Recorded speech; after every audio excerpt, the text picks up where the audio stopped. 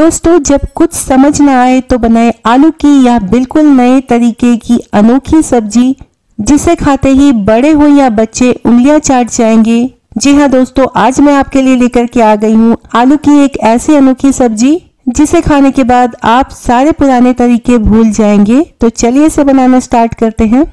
इसके लिए सबसे पहले लेना है आपको एक मिक्सी का जार। जार में डाल देंगे एक मीडियम साइज़ का कच्चा आलू, जिसे मैंने छील करके अच्छे से धो लिया है। छोटे छोटे पीसेस में से कट करके जार में डाल देंगे। आलू को जार में कट करके डालने के बाद इसमें डाल देंगे एक इंच अदरक का टुकड़ा, चार से पाँच लहसुन की कलियाँ। लहसुन नहीं खाते हैं तो इसे स्किप कर सकते हैं। साथ ही में जाएगा इसमें थोड़ा सा हरा धनिया। अब हम जार में डाल देंगे आधा कप के जितना पानी। पानी डालने के बाद इसे हमें बहुत अच्छे से बिल्कुल फाइन पीस लेना है। तो दोस्तों, ये बहुत अच्छे से पीस चुका है। इसे एक बोल में ट्रांसफ़र कर लेंगे। इसका कलर आप देख सकते हैं, बहुत ही अच्छा आया है। अब हम इसमें ऐड कर देंगे आधा कप बेसन। अब हम बेसन को इसमें अच्छे से मिक्स कर लेंगे। बिल्कुल नई, बहुत ही चटपटी, अनोखी रेसिपी है फ्रेंड्स चैनल पे नए हैं तो चैनल को अभी सब्सक्राइब कर लें और वीडियो को एंड तक पक्का देखें। तो यहाँ पे जो बैटर हमने तैयार किया है ना फ्रेंड्स वो थोड़ा सा मुझे पतला लगा, इसीलिए मैंने इसमें एक बड़ा चम्मच बेसन और ऐड कर दिया है। थोड़ा सा थिक बैटर चाहिए हमें इसका। तो अब जो है बैटर की कंसिस्टेंसी बिल्कुल परफेक्ट हो गई है। अब हम इसमें ऐड कर देंगे चुटकी भर बेकिंग सोडा ये ऑप्शनल है, इससे बहुत ही ज़्यादा सॉफ्ट और स्पॉन्जी बनती है हमारी बढ़िया। और साथ ही में जाएगा इसमें स्वाद अनुसार नमक। थोड़ा सा हिंग ऐड कर देंगे क्योंकि इसमें बेसन है। और थोड़ा सा जाएगा इसमें हल्दी पाउडर मिक्स कर लेंगे बहुत अच्छे से। सस्ते में बनने वाली ये सब्ज़ी लगने वाली है आपको शाही पनीर कढ़ी से। बहुत ही ज़्यादा टेस्टी तो दोस्तों, मैंने इसे बहुत अच्छे से मिक्स कर लिया है। बैटर हमारा तैयार हो चुका है।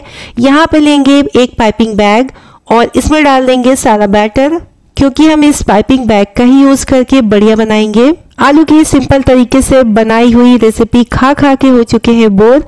इस रेसिपी को आप मेहमानों को जब खिलाएँगे ना तो वो इसकी तारीफ़ करते नहीं थकेंगे। तो यहाँ पे आप देख सकते हैं दोस्तों, मैंने पाइपिंग बैग के अंदर सारा बैटर फिल कर लिया है। इसे हम अभी ऐसे ही छोड़ देते हैं। सबसे पहले इसकी ग्रेवी तैयार करेंगे। तो यहाँ पे एक कढ़ाई को मैंने गर्म कर लिया है। इसमें ऐड कर देंगे दो से तीन बड़े चम्मच तेल। तेल के गर्म होते ही सबसे पहले तेल में ऐड कर देंगे आधा छोटा चम्मच साबुत जीरा। जीरे के हल्के से भूनते ही इसमें डाल देंगे एक मीडियम साइज़ का पिसा हुआ प्याज। प्याज को एक मिनट तक मीडियम फ्लेम पे भून लेंगे। एक मिनट के बाद आप देखेंगे, इसका कलर हल्का सा ब्राउन हो गया है। इसी तरह से हमें प्याज को अच्छे से भून लेना है। जैसे ही प्याज भून जाए, इसमें डाल देंगे दो मीडियम साइज़ के पिसे हुए टमाटर। टमाटर को भी इसमें अच्छे से मिक्स कर लेंगे। टमाटर के साथ ही इसमें ऐड कर देंगे एक बड़ा चम्मच लहसुन अदरक, जिसे मैंने ग्रेट करके लिया है। आप यहाँ पे पेस्ट का भी इस्तेमाल कर सकते हैं। अब इसमें कुछ सूखे मसाले भी ऐड कर लेते हैं। जैसे कि एक बड़ा चम्मच धनिया पाउडर एक बड़ा चम्मच ही लाल मिर्च का पाउडर, आधा छोटा चम्मच जाएगा इसमें हल्दी पाउडर और स्वाद अनुसार जाएगा नमक। मिक्स कर लेंगे मसालों को साथ में। मीडियम फ्लेम पे थोड़ी देर इसे भून लेंगे। इसके बाद हम इसमें एक कप पानी ऐड कर देंगे और इसे ढककर पकने देंगे। तो देखिए, पाँच मिनट तक मसाले को मीडियम फ्लेम पे मैंने अच्छे से ढककर पका लिया है। मसाला बहुत अच्छे से भून चुका है। तेल देख सकते हैं, इसने छोड़ दिया है। तो अब हम फ्लेम को बिल्कुल लो पे कर देंगे और इसमें ऐड कर देंगे आधा कप दही। तो यहाँ पे दही को फैट कर लेना है आपको और धीमी आँच पे दही को लगातार चलाते हुए भून लेना है जब तक कि इसमें उबाल ना आ जाए, नहीं तो दही फट सकती है। तो देखिए, दही को मैंने अच्छे से भून लिया है, इसमें उबाल आ चुका है और काफ़ी अच्छी हमारी ग्रेवी तैयार हो चुकी है। हमारी ग्रेवी यहाँ पे बहुत ज़्यादा ठीक हो गई थी तो मैंने इसमें आधा कप पानी ऐड करके इसे थोड़ा सा पतला कर लिया है। क्योंकि अब हम इसी ग्रेवी के अंदर बनाएँगे बढ़िया। तो यहाँ पे पाइपिंग बैग का नोजल मैंने कट कर दिया है और इससे हम इसी में थोड़ी थोड़ी जगह छोड़ते हुए बढ़िया बना लेंगे। बहुत ही आसानी से हमारी बढ़िया तैयार हो जाती है।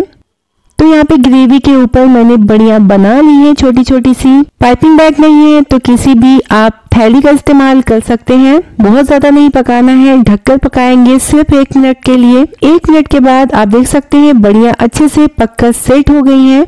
हल्के हाथों से एक बार चला लेंगे। बड़ियों ने पानी ऑब्ज़र्व कर लिया है तो इसमें आधा ग्लास पानी ऐड कर देंगे। पानी डालने के बाद इसमें डाल देंगे आधा छोटा चम्मच गरम मसाला। साथ में ऐड कर देंगे इसमें बारीक कटा हुआ हरा धनिया और मिक्स कर लेंगे हल्के हाथों से। तो यहाँ पे हमारी ग्रेवी काफ़ी अच्छी लग रही है। दो मिनट तक फिर से ढककर पका लेंगे। और दो मिनट पकने के बाद आप देख सकते हैं कि कितनी अच्छी सी हमारी यहाँ पे ग्रेवी वाली सब्ज़ी तैयार हो चुकी है, जो कि इतनी ज़्यादा टेम्पटिंग लग रही है, इतनी ज़्यादा टेम्पटिंग लग रही है कि अच्छी अच्छी रेसिपी इसके सामने फेल है। ये देखिए बहुत ही लजीज हमारी यहाँ पे आलू की मज़ेदार नई तरीके की अनोखी सब्ज़ी तैयार हो चुकी है। चलिए इसे सर्व कर लेते हैं। तो फ्रेंड्स, तैयार हो चुकी है आलू की अनोखी सब्ज़ी, जिसे हमने बिल्कुल अनोखे तरीके से बनाया है।